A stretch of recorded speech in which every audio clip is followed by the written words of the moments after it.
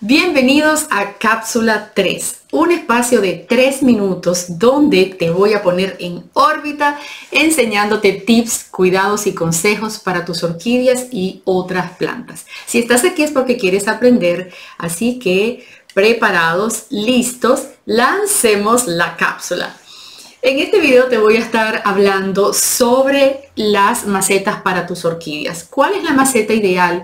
¿De qué material debe ser? ¿De qué tamaño debe ser? Existen en el mercado muchísimas macetas. Las hay de arcilla con huequitos aquí abajo. Hay otras que tienen perforaciones aquí a los lados. También las hay plásticas con orificios en la base plásticas con orificios en la base y en todas las paredes, plásticas solo con un orificio, sin orificios en las paredes, totalmente sin huequitos y también las hay de que son estas pulidas, un poquito más pesadas y por supuesto más elegantes y con brillo. Pero te seguirás preguntando cuál es la maceta ideal para colocar mi orquídea.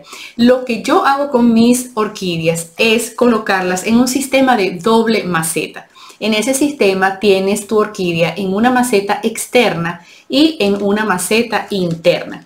Te voy a hablar cómo es la maceta de afuera o externa y cómo es la maceta interna donde realmente está la orquídea. ¿Cuál es la maceta más importante? ¿La de afuera o la de adentro?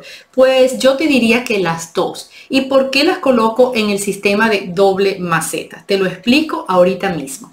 Cuando tú colocas dos macetas, la maceta exterior es para conservar la humedad, sobre todo la cantidad de humedad en forma líquida y también en forma de vapor. Y cuando colocas la maceta interna es para que la orquídea esté aquí creciendo y estando cultivada y que los huequitos tanto en la parte de las paredes como en la parte de abajo permitan la aireación del sustrato que está en contacto con tu orquídea. Las dos macetas son importantes y también la forma en que las vas a colocar. La maceta exterior, como puedes ver aquí, tiene un platito en la parte de abajo porque tiene su huequito para liberar el exceso de agua que tú aplicas en el riego.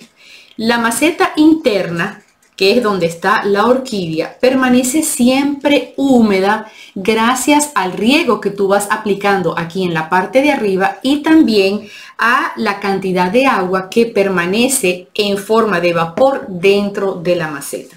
Colocar una doble maceta es muy importante porque entre las dos macetas se va a generar un espacio que yo lo llamo la cámara húmeda. En esa cámara entre la maceta de adentro y la maceta de afuera siempre va a haber humedad en forma de vapor que tu orquídea podrá captar utilizando el velamen de sus raíces. Esto es todo por esta cápsula. Te espero una siguiente oportunidad y sigue en órbita conmigo.